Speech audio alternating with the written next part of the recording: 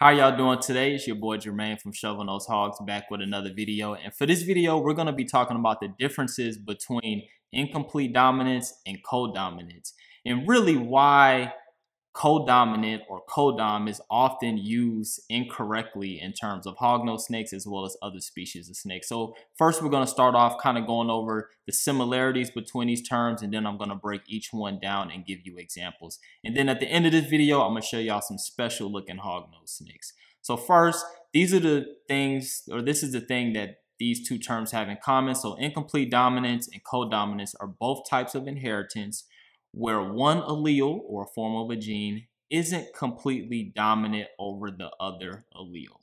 So let's get into incomplete dominance. So incomplete dominance is when there is a blending of the two alleles that results in a third phenotype that doesn't look like the other parents. So to kind of break that down into simpler form, for this example, using flowers, if you have one parent that's a white flower and another parent that is a red flower, the super form of that or the offspring would be pink or purple what's in this picture. So as you can see, the offspring is a completely different color than the parents. It's neither white nor red. So it's completely different um, in the super form. So that's incomplete dominance. Now in hognose snakes, we have two incomplete dominant genes. The first one is going to be anaconda which is a reduction in the pattern. So whenever a hognose snake has one copy of the anaconda gene or the heterozygous form, which is one copy, you get a pattern reduction when you compare it to a hognose that's normal or doesn't carry the gene.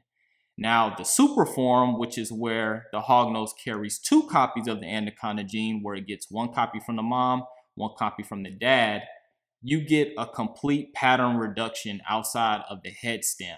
And this is the homozygous form, also called the super anaconda. So when you kind of look at this example right here, we have two parents. They both carry the anaconda gene. The super form of that is going to be the superconda.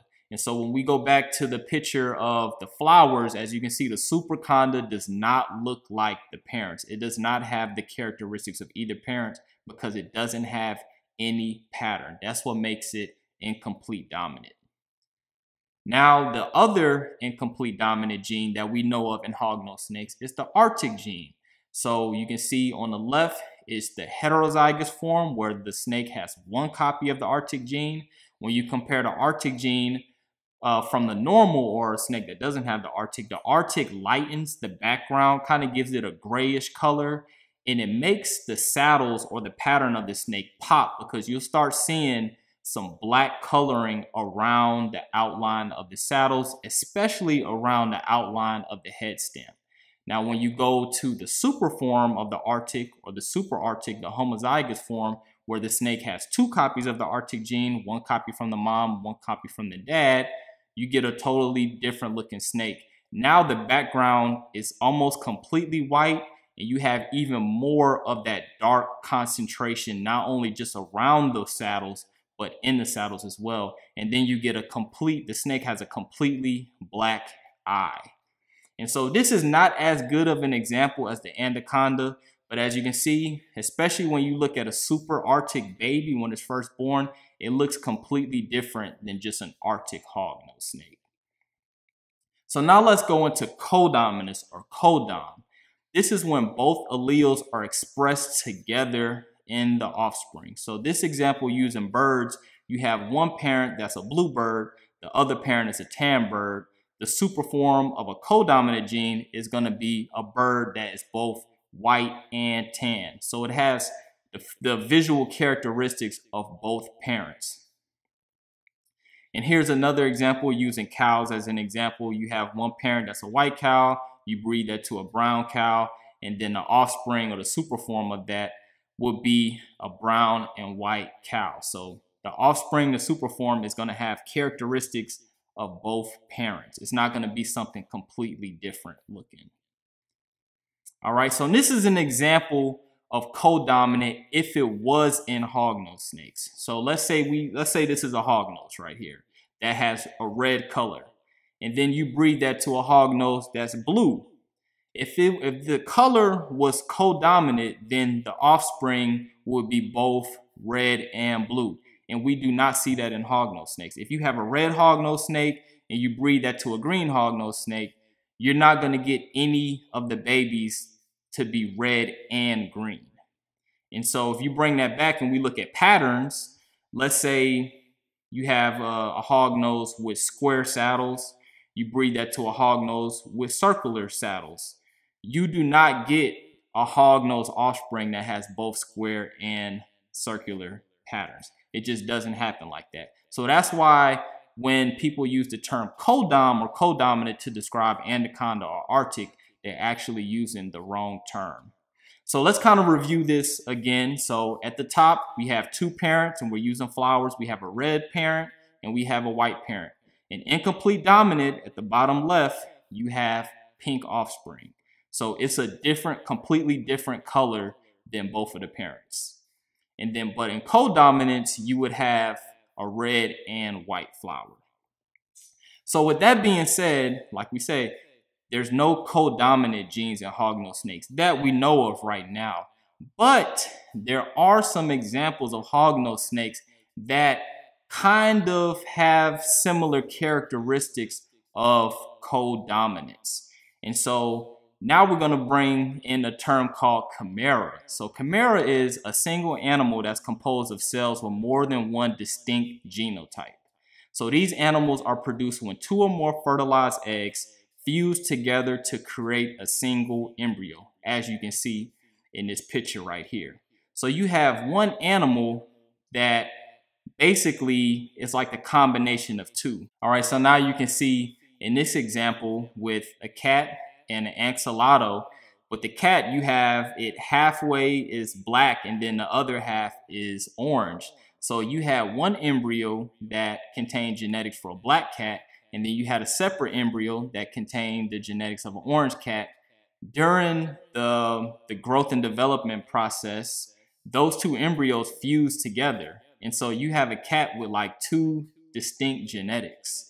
And we also have that in hognose snakes. So the first hognose I want to show y'all uh, was produced by Jason Taylor at Beyond Genetics. And so this snake is half super arctic and half super arctic albino.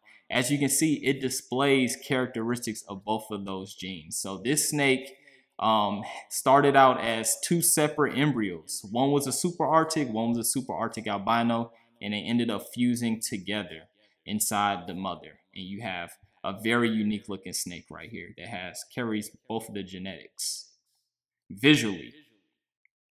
All right, and next we have probably one of the most interesting looking hognose snakes that I've seen. If you're on Facebook, you've probably already seen this.